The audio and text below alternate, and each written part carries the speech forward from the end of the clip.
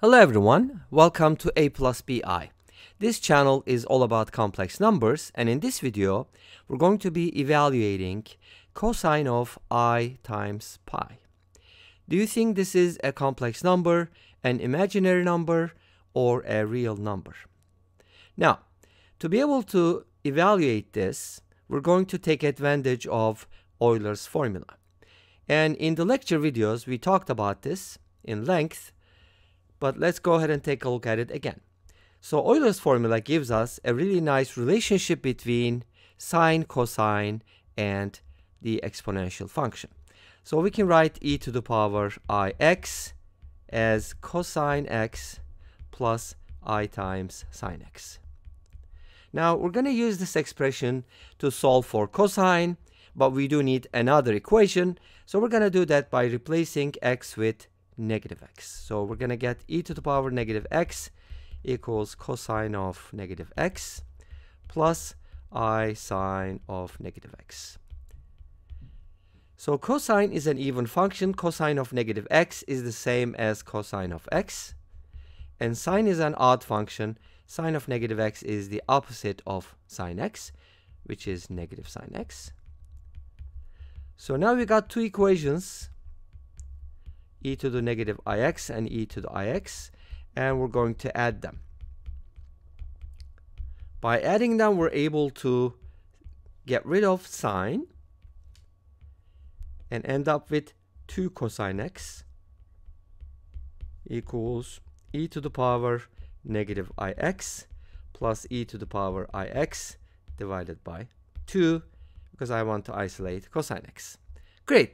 So we were able to express cosine x in terms of our exponential e to the power something.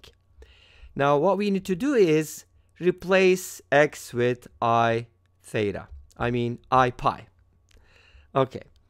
So what happens if you do that? Set x equal to i pi. We get cosine of i pi equals e to the power negative i times i pi plus e to the power i times i pi divided by 2. As you know, i times i is i squared, and i squared is equal to negative 1. Remember that? We talked about this before, right?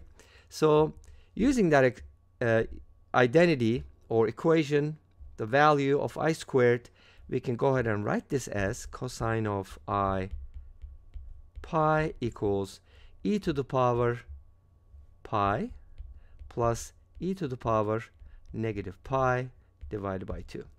So it turns out this expression is actually a real number. So that's pretty interesting. A lot of interesting things happen with complex numbers, and this is just one of them.